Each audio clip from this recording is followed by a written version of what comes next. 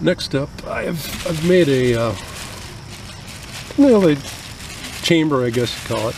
I took four bricks and stood them up on end inside of a plastic bag because I need to create a human environment for this aging process to work. And I'm gonna put on some goggles and uh, just basically just take set the whatever you're making in there. The, in this case, the, I want to make sure I grab the cleaner and then just uh, spray the surface with the cleaner.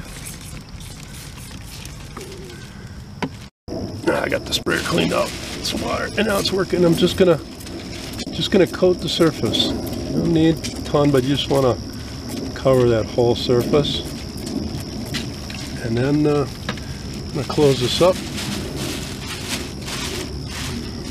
And you could use a twist tie. I'm just gonna set a brick on here just to keep that moisture in there. That helps the aging process work.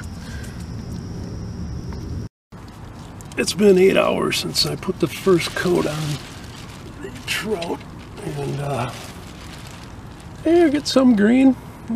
I am going to add some more aging solution.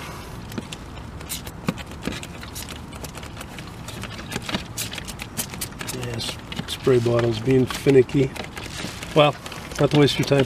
I'm just gonna get this going. I'm gonna put another coat on and probably let it sit overnight.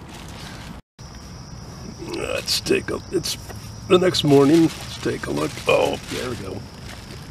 There's the trout. And uh, I'm gonna call that good. It, it is still wet, I'm gonna let it dry. And we'll be on to the next step.